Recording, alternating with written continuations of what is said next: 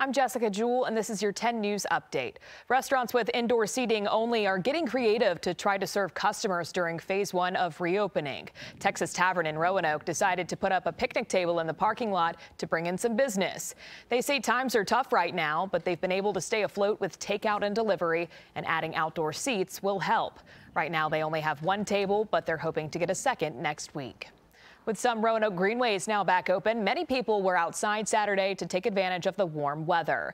When the greenways closed last month, many people had to change up their walking or running routes. Two women who use the greenway often say it was disappointing when it closed, but they agreed with the decision since people were not social distancing. Garden City and Tinker Creek are now open, while the Roanoke River Greenway will open back up on Tuesday.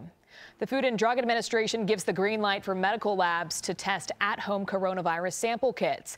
Now healthcare providers can screen patients, then sign off for them to receive the kit. It uses a nasal sample to test for the virus. FDA officials say this way of testing protects people from potential exposure. It's available by prescription only. A reminder you can get updates on the go with WSLS.com and the 10 News app. I'm Jessica Jewell, 10 News working for you.